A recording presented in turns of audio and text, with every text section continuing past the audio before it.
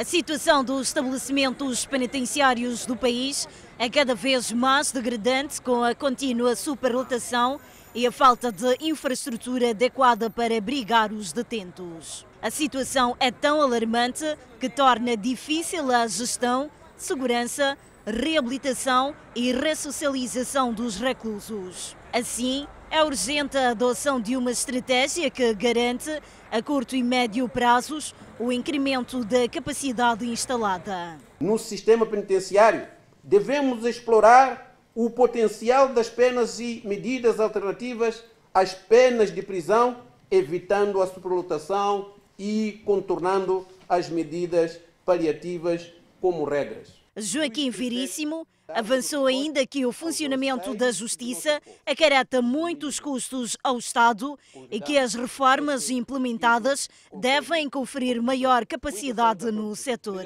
Devemos assegurar uma atuação concertada e holística das instituições da administração da justiça, de modo que continuem a dar passos significativos como forma de melhorar a nossa prestação e cumprir a função para que foram criadas.